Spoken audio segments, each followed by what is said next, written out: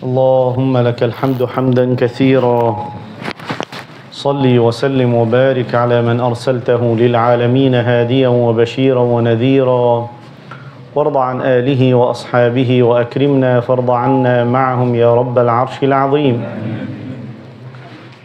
قبل أن نستكمل حديثنا عن السيرة النبوية المطهرة أرسل إلي بعض الإخوة يسأل عن الفرق بين النفس والشيطان.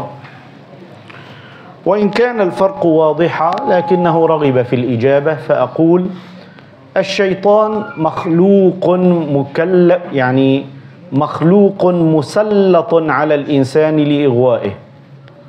والله تعالى جعله نوعا من أنواع الابتلاءات التي وجدت في هذه الحياة الدنيا. فالإنسان كما يبتلى بقلة المال بالأمراض بما يصيبه من مشاكل في الحياة كذلك ابتلاه الله تعالى بالشيطان حتى يظهر الصالح من الطالح. لو لم يكن هناك هذا المخلوق الذي يوسوس لزعم الناس جميعا أنهم صالحون. فلما جاء هذا المخلوق فوسوس وصار يصرف الناس عن طاعة الله عز وجل يتبين الصالح من الطالح. هذه واحدة. أما النفس فإن النفس التي توجد في الإنسان هي جزء منه لأن لن أفرق بينها وبين الروح. ولكن هذه النفس بحسب ما تطبعها تتطبع. لذلك وردت تسميات عديدة للنفس البشرية في القرآن. ذكرها الله تعالى باسم المطمئنة. يا أيتها النفس المطمئنة ارجعي إلى ربك راضية مرضية. ذكرها الله تعالى باسم النفس الأمارة. إن النفس لأمارة بالسوء إلا ما رحم ربي. ذكرها الله سبحانه وتعالى باسم النفس اللوامة. لا أقسم بيوم القيامة ولا أقسم بالنفس اللوامة. قال أهل العلم هذا بحسب ما يشتغل الإنسان عليها. فإن تركها وأهملها ضلت وأضلت. وهذا صارت نفسه أمارة بالسوء. فإن جعل يراقبها حينا وتغلبه حينا فهي النفس اللوامة التي تلوم صاحبها على فعل الشر. فإن أتقن متابعتها وهذبها وأدبها صارت نفسا مطمئنة ثم تصبح راضية مرضية. أيهما يسأل السائل نفسه؟ أيهما أخطر على الإنسان؟ الشيطان أخطر. الشيطان أخطر على الإنسان. لأنه هو الذي يجعل النفس تتحرك يمنة ويسرى في الأغلب. لكن بعض الأحيان قد يكون للنفس تأثير ظاهر أكثر. متى؟ هذا يظهر مثلا في رمضان. نحن نسمع الأحاديث التي وردت في تكبيل الشيطان وأنه لا يوسوس لا يوسوس للإنسان. فمن أين تأتي الوساوس في رمضان؟ من النفس. هذه النفس كما قال أهل العلم قد درجت وتربت على يد الشيطان طول العام. فالآن ما دامت ما وصلت إلى درجة الصلاح والاستقامة التامة تغوي صاحبها وتضله وتزيغه عن الحق. هذا الذي أردت الإشارة إليه من التفريق. فالأخطر هو الشيطان. لذلك قال الله تعالى وقل رب أعوذ بك من همزات الشياطين وأعوذ بك رب أن يحضرون. ولم يقل الله تعالى قل رب أعوذ بك من نفسي. تماما. اذا الشيطان هو الأصل في هذه القضية فالإنسان دائما يستعيذ بالله تعالى منه. وصلنا في سيرة سيدنا رسول الله صلى الله عليه وسلم إلى السنة الثامنة للهجرة. وفي هذه السنة كان من أعظم الأحداث التي جرت فيها معركة عظيمة جدا لم يشهد لها التاريخ مثيلا سميت بغزوة وهي غزوة مؤتة. وقد فرقنا كما قال أهل العلم بين المعركة التي يشهدها رسول الله بنفسه والتي لا يشهدها بنفسه بأنها إذا شهدها بنفسه سميت غزوة وإن لم يشهدها بنفسه سميت سريه هذه المعركة الوحيدة التي لم يشهدها رسول الله صلى الله عليه وسلم وأطلق عليها اسم الغزوة. وقد علل العلماء رحمهم الله تعالى ذلك بأكثر من تعليل. قالوا لشهرتها لعظمتها لعظيم بلاء المسلمين فيها لما أصاب المسلمين فيها من تكالب عدوهم لما جرى فيها من قبلها ومن بعدها لما جرى فيها من أمور تعلقت بشأن رسول الله صلى الله عليه وسلم بنفسه بالذات فلذلك أطلق عليها غزوة غزوة رغم أنها لم يخرج فيها بنفسه. مؤتة الآن في الأردن. تبعد عن المدينة المنورة أكثر من ألف كيلومتر. الذي جرى أن رسالة من الرسائل النبوية تأخر إرسالها قليلا عن بقية الرسائل. تذكرون رسائل سيدنا رسول الله إلى ملوك الأرض يدعوهم فيها إلى الإسلام. إحدى هذه الرسائل أرسلت إلى أمير بصرى أو ملك بصرى بصرى الشام يا أيها الأحبة تقع الآن في جنوب سوريا قريبة من درعا. بصرى في ذلك العصر كانت مكانا عظيما. الآن إلى الآن بيقولوا فيها مسرح وفيها وفيها آثار رومانية ضخمة. فكانت مركزا كبيرا جدا للروم. حاكمها عربي لكنه تابع للروم. فأرسل سيدنا رسول الله رسالة إلى واليها يدعوه فيها إلى الإسلام. حمل هذه الرسالة الحارث بن عمير الأزدي رضي الله تعالى عنه. وانطلق بهذه الرسالة فلما اقترب من بصرى عرض له أحد عمال الروم ليس حاكم بصرى نفسه وإنما عامل الروم على البلقاء قبل بصرى فسأله ماذا عندك؟ إلى أين تتوجه؟ قال أبلغ رسالة رسول الله صلى الله عليه وسلم إلى أمير بصرة. قال رسول الله من هذا؟ ونظر إلى هذا الصحابي باستهجان شديد ثم أخذ الرسالة منه وأمر به فكتف ثم ضربت عنقه. كان هذا الأمر حدثا جللا لا يحدث إلا نادرا في التاريخ. وهو في كل عصر يساوي إعلان الحرب. لما الآن رجل يحمل رسالة بمثابة السفير يرسل إلى أي بلد فهذه الدولة التي أرسل إليها تغتال هذا السفير. ماذا يعني؟ يعني هذه الدولة التي هو منها لا قيمة لكم عندنا. نحن نريد حربكم نريد قتالكم.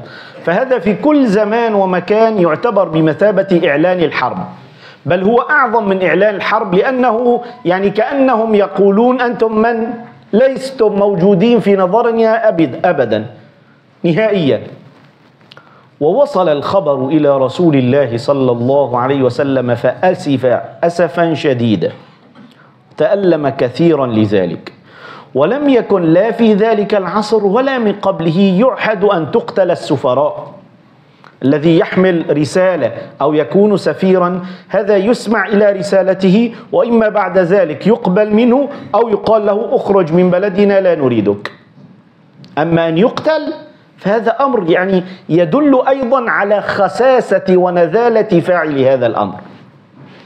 فلما وصل الخبر إلى رسول الله صلى الله عليه وسلم وتأسف لذلك أمر أصحابه أن يتجهزوا للخروج إلى ذلك المكان الذي استشهد فيه هذا الصحابي الحارث بن عمير الأزدي. نعم. والذي قتله يدعى شرحبيل بن عمرو الغساني هذا الظالم. فأمرهم أن يتوجهوا إلى ذلك المكان ليثاروا لهذا الصحابي وليعرضوا الإسلام أيضا على من وصل إلى ذلك المكان. فأمرهم في البداية أن يعرضوا الإسلام فلعل من هنالك وإن كانوا ظلمة قساة لعلهم يتأثرون وإلا فليقاتلوا. جمع أصحابه رضي الله تعالى عنهم ثم قال أمير الناس زيد بن حارثة. فإن قتل فجعفر بن أبي طالب. فإن قتل فعبد الله بن رواحة. وهنا تنتهي رواية الإمام البخاري رحمه الله تعالى. في رواية البيهقي والواقدي بعد أن قال عبد الله بن رواحة قال فإن قتل فليرتضي المسلمون رجلا يؤمرونه عليهم. رواية البخاري لا تذكر بعد عبد الله بن رواحة أحدا. رواية البيهقي والواقدي تقول فإن قتل عبد الله بن رواحة الثالث فليرتضي المسلمون. أنتم اختاروا الآن. فليرتضي المسلمون من يولوهم عليه من يولونه عليهم. قال جعفر رضي الله تعالى عنه يسمع الأمر النبوي فجاء إلى رسول الله فقال يا نبي الله ما كنت أرهب أن تولي علي زيدا؟ يعني أنا كنت أظن أنني أقرب إلى نفسك بما أنه رضي الله تعالى عنه ابن عمه ومن السابقين إلى الإسلام وكذا وكذا فقال امض يا جعفر فإنك لا تدري أي ذلك يكون خير. سبحان الله. الأمر في الإسلام ليست قضية عصبية وأقارب وأرحام وأصدقاء القضية تقديرات نبوية مبنية على وحي إلهي. سبحان الله. قال زيد بن حارثة رضي الله تعالى عنه لما أيضا سمع هذا الأمر كان قريبا منه رجل من اليهود كما في رواية البيهقي الآنفة الذكر والواقدي. هذا اليهودي اسمه النعمان بن فنحص. لما سمع هذا الكلام التفت إلى زيد بن حارثة فقال يا زيد اعهد فإن كان محمد نبيا فإنك لن ترجع من هذه المعركة ابدا. اعهد يعني ساوي وصيه انظر ماذا يقول اليهودي كلام عجيب. قال اعهد فإن كان محمد نبيا صلى الله عليه وسلم فإنك لن ترجع من هذا الغزو ابدا. فقال سيدنا زيد أشهد لهو نبي صادق بار راشد صلى الله عليه وسلم. أنا مصدق ما تقول لي إن كان إيش تقول؟ فقال له اليهودي إن أنبياء بني إسرائيل كانوا إذا أرسلوا بعثا يعني كلفوا اناسا بالقتال فعهدوا لأكثر من واحد لم يرجع من هؤلاء أحد. إذا كلفوا واحد اثنين ثلاثة أربعة هدول المكلفين بالقيادة لن يرجعوا سيستشهدوا بقضاء الله تعالى. سبحان الله. وهذا الكلام صحيح. سيحصل هذا بإذن الله تعالى. وتجهز المسلمون وكانوا ثلاثة آلاف مقاتل وكان عددا كبيرا. لم يخرج إلى الآن عدد شبيهه. يعني في خيبر كانوا 1400 تقريبا وهكذا. هذا العدد كان في ذلك الوقت عددا كبيرا بالنسبة للمسلمين. وبدأوا يجهزون أنفسهم ويعدون عدتهم للخروج وجمعهم رسول الله صلى الله عليه وسلم فأوصاهم بوصايا. قال ادعوهم إلى الإسلام. قات ثم قاتلوا في سبيل الله من كفر بالله. لا تغلوا ولا تغدروا. لا تغلوا الغلول. مرة قلنا تذكرون هو الأخذ من الغنيمة قبل أن تقسم. لا تغلوا ولا تغدروا ولا تخونوا.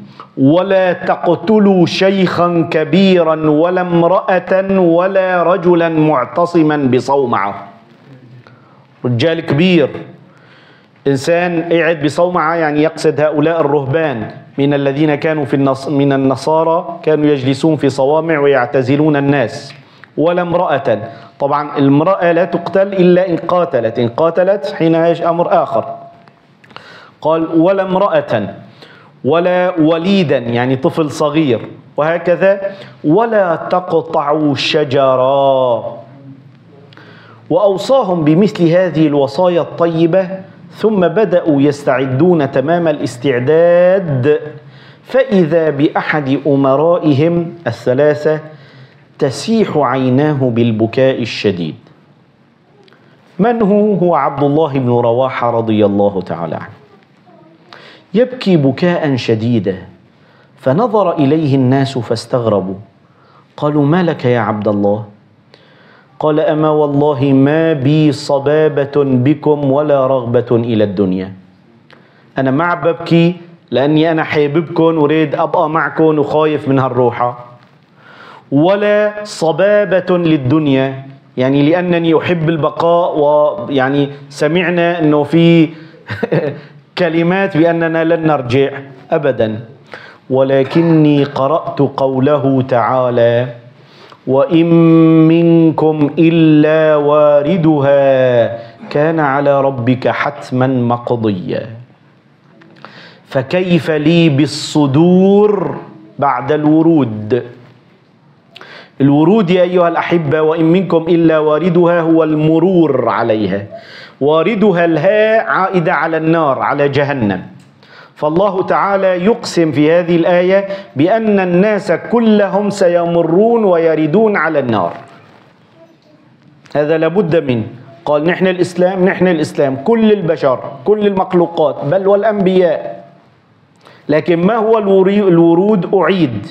الورود هو المرور على النار وليس دخول النار. قال كيف يعني المرور؟ هو المرور فوق الصراط الذي ينصب فوق النار. تحت النار نسأل الله العافية. فوقها الصراط الناس يمرون على الصراط. فإذا والعياذ بالله لم يكونوا أهل استقامة سقطوا إلى النار. فالورود إذن هو المرور. فالصحابي عبد الله بن رواحة رضي الله عنه يتساءل ما اللي بالصدور بعد الورود؟ إيش دا ينجيني مشيني خليني أقطع وما أقع؟ بعد ما وردت على النار يعني مشيت فوقها إيش اللي يمشيني؟ سبحان الله. يا أيها الأحبة والله أمر الصحابة دائما أقول عجيب من أعجب العجب. رجل بطل مجاهد صالح صحابي كذا كذا كذا كذا. عم بيقول إيش دا ينجيني واحد الآن في زماننا لا بصلي ولا بصوم وبسرق وبزني وبفعل كل الفواحش. بتقول له لا الله غفور رحيم أنت أكرم من الله؟ لا لا لا ما في حد أكرم من الله. طبعا ما في حد أكرم من الله مبينة يعني. لا لا لا ما في مشكلة. أنت ساوي. أنت أول واحد. مو لأنني أنا بدي أدخلك مشان ما تضحك. مشان ما تظن الأمر لا بإيدي ولا بإيد الأكبر مني ولا الأكبر منك. لكن والعياذ بالله الذي يستحتر ويجترئ على الله بهذا الأسلوب. يقول هذا لإنسان عادي يقول لك أما تستحي مني؟ فكيف بالله سبحانه وتعالى تجترئ وتبارزه وتحاربه وتجترئ على معاصيه والعياذ بالله تعالى ثم تقول إيه الله غفور رحيم؟ هكذا يقول الإنسان. سبحان الله. لذلك الآية يا أيها الأحبة انظروا الآية السابقة التي قرأها سيدنا عبد الله بن رواحة. قال وإن منكم إلا واردها كان على ربك حتما مقضيا ثم ننجي الذين اتقوا. الذين اتقوا. الله يقول مو أنا العب بقول. الله يقول ننجي الذين اتقوا ونذر الظالمين فيها جثيا سبحان الله. فالإنسان المغرور الذي يضحك عليه الشيطان الذي تغره نفسه الذي لا يتوجه للعمل الصالح إيش يقول هذا؟ أمثالي من المقصرين إيش يقول؟ يا رب يا رب لا نقول إلا اللهم مغفرتك ورحمتك ارجى عندنا من أعمالنا. بس بس نحن نطمع برحمتك العظيمة وإلا ما عندنا شيء ابدا يعني. أي أقول هذا الصحابي الكريم هكذا يقول هذا الكلام. فلما سمعوا منه هذا الكلام عرفوا أنه يعني يخشى على نفسه من عذاب الله تعالى. فقال صحبكم الله تعالى بخير وردكم سالمين فأنشد يقول عبد الله بن رواحة كان شاعرا متينا بليغا. البارحه تذكرون قرأنا بعض شعره لما كان في عمرة القضاء.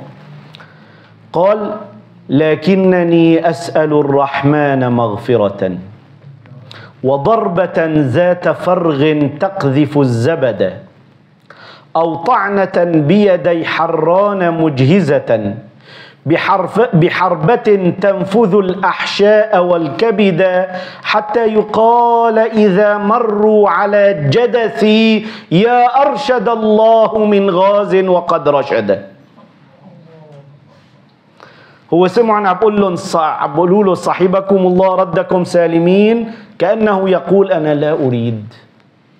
أريد أسأل الرحمن مغفرة وضربة ذات فرغ تقذف الزبد. واحد يطعني فيطلع الزبد من تمي لأنني استشهد في سبيل الله.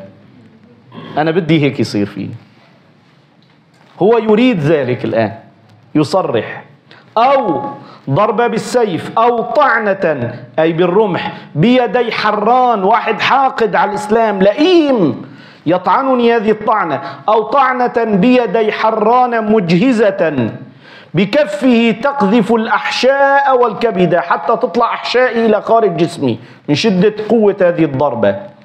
حتى يقال إذا مروا على جدث الجدث والقبر يا أرشد الله من غاز وقد رشد. قولوا سبحان الله الله أكرم هذا وهو قد أكرمه الله قطعا. إن قالوا وإن لم يقولوا. يعني هو مع بيقول أنه أنا أنتظر ذلك لكن هذا إن شاء الله تعالى ما أرغب بأن أقول إليه. سبحان الله وهكذا قال هذه الكلمات الطيبة بعد أن كان يبكي رضي الله تعالى عنه. ويتجهز الصحابة للانطلاق ودب تبدأ جموعهم فعليا بالخروج رويدا رويدا من المدينة. اللهم أعزنا بطاعتك ولا تذلنا بمعصيتك واختم لنا بالحسنى يا رب العالمين. الحمد لله رب العالمين.